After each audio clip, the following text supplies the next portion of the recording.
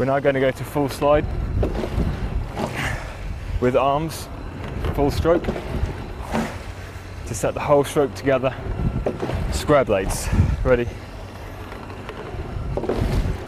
Go.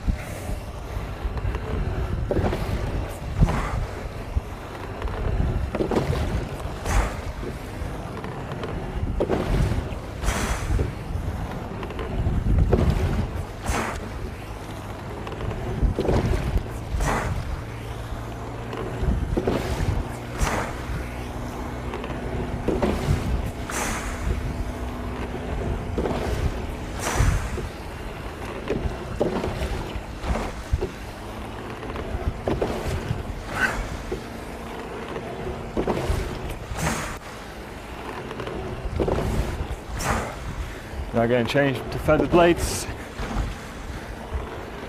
Next stroke. Go.